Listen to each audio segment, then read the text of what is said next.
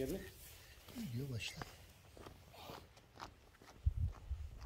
İstediğiniz zaman şey yapın. Şöyle gel. Tamam. Şöyle şöyle.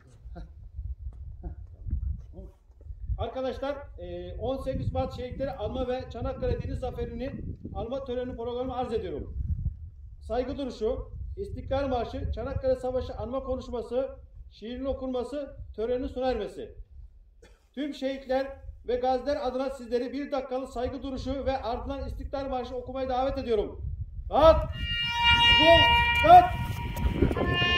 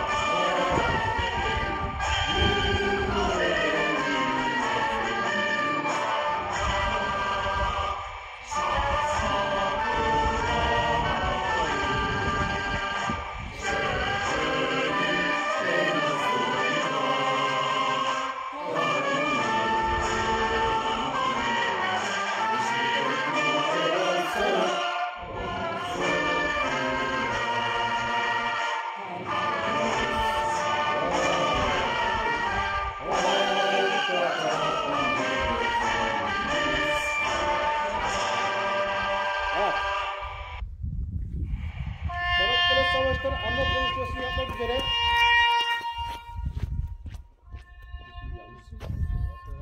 Serap Coşkun hanımefendiyi davet ediyorum arkadaşlar. Çanakkale Savaşı'nın tarihte silinmez izler bırakarak milletin kaderini derinden etkilemiştir. Deniz ve kara savaşlarında kazanılan parlak ve gurur verici zaferler milletimiz için bugünlere uzanan sürecin başlangıcı olmuştur. Çanakkale Savaşı'nın bizim açımızdan en önemli sonuçlarından biri de Mustafa Kemal Atatürk'ü tarih sahnesine çıkarması olmuştur. Mustafa Kemal Atatürk askeri dehası ve üstün komutanlık yeteneğiyle kara savaşlarının zaferle sonuçlanmasını sağlamıştır.